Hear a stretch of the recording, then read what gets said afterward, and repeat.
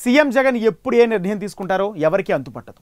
ఏదైనా కీలక నిర్ణయం తీసుకుంటున్నప్పుడు ముందుగా ఫెయిలర్లు వదిలి రెస్పాన్స్ చెక్ చేసుకుంటారు జగన్. అతి త్వరలో జగన్ అన్న క్యాబినెట్ పునర్వ్యవస్థీకరణకు సంబంధించి కూడా అదే పరిస్థితి కనిపిస్తుంది.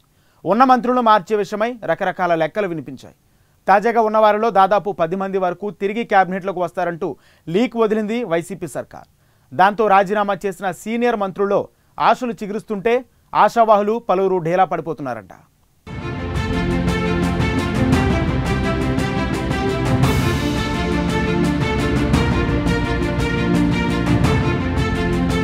ఆంధ్రప్రదేశ్ మంత్రివర్గ కూర్పుపై కసరత్తు ప్రారంభమైంది. దీంతో ఆశావహుల్లో సర్వత్రా ఉత్కంఠ నెలకొంది. ఈసారి కేబినెట్లోకి ఎవరిని తీసుకుంటారనే విషయంలో సస్పెన్స్ కొనసాగుతోంది. అయితే అంతకు ముందున్న మంత్రుల్లోనే ఏడు నుంచి పదకొండు మంది వరకు తిరిగి కొనసాగే అవకాశం ఉన్నట్టు ప్రచారం మొదలైంది.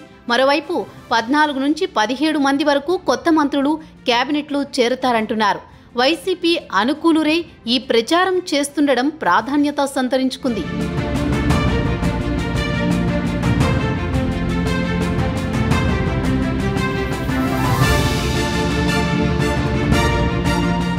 వాస్తవానికి జగన్ ఎప్పుడు ఏ నిర్ణయం తీసుకుంటారో ఎవరికీ అంతుపట్టదు మునిపెన్నడూ లేని విధంగా జగన్ ప్రభుత్వంలో పెద్ద సంఖ్యలో సలహాదారులున్నారు. అయితే వారే సలహా ఇచ్చినా అంతిమ నిర్ణయం తీసుకునేది మాత్రం జగనే అన్నది ఓపెన్ సీక్రెటే.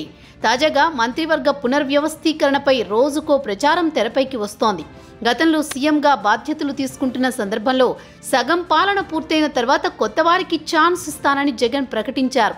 ఆ క్రమంలో ముందు సగం మందిని మారుస్తామన్నారు. తర్వాత తొంభై శాతం అని ఫీలర్లు వదిలారు. ఆ తర్వాత వంద శాతం ప్రక్షాళన అని ఒక సీనియర్ మంత్రితోనే చెప్పించారు.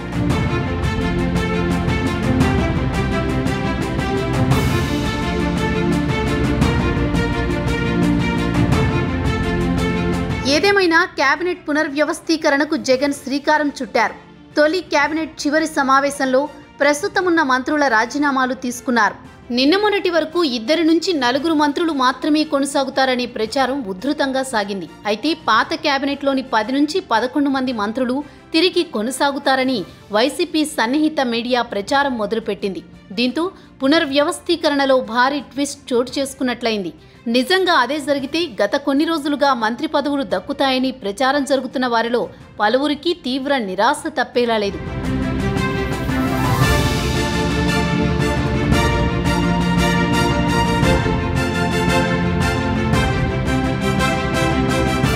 పాత క్యాబినెట్కు చెందిన పది పదకొండు మంది మంత్రులు కొనసాగుతారనే ప్రచారంతో ఆశావహుల్లో ఒక్కసారిగా తీవ్ర నిరాశ చోటు చేసుకుందట. కేబినెట్ కూర్పుపై తాజా ప్రచారంతో తమ ఎమ్మెల్యేకు మంత్రి పదవి తప్పక వస్తుందని నమ్మకంగా చెప్పిన వారు పూర్తిగా నీరుగారిపోతున్నట్లు సమాచారం. ఆ క్రమంలో జగన్ మనసులో ఏముందో అంతు చిక్కక ఆయన్ని ప్రసన్నం చేసుకోవడానికి బదులు ప్రసిద్ధ దేవాలయాల చుట్టూ ఎమ్మెల్యేలు తిరుగుతుండడం చర్చనీయాంశమైంది.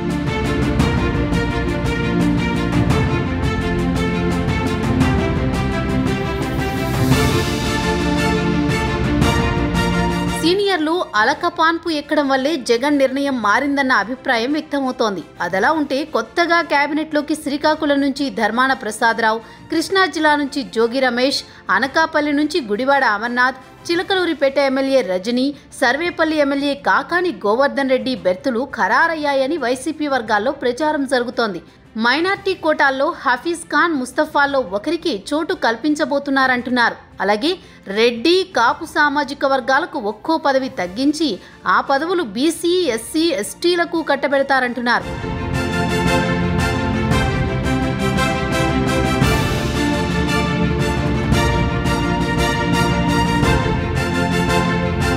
మొత్తం మీద ఇలాంటి ప్రచారాలు వైసీపీ అనుకూల వర్గాల నుంచి మొదలవుతున్నాయి. అయితే అసలు వైసీపీ బాస్ మనసులో ఏముందో? ఆయన ఇప్పటికే తయారు చేసుకున్న జాబితాలో ఎవరెవరి పేర్లున్నాయో మాత్రం మూడో కంటికి తెలియని పరిస్థితి. ఏదేమైనా కొత్త కేబినెట్ ఏర్పాటుకు ముహూర్తం రోజుల్లోకి వచ్చేసింది. అయినా జగన్ ఎవరెవరికి పదవులు కట్టబెడుతున్నారన్న దానిపై మాత్రం సస్పెన్స్ కొనసాగుతూనే ఉంది.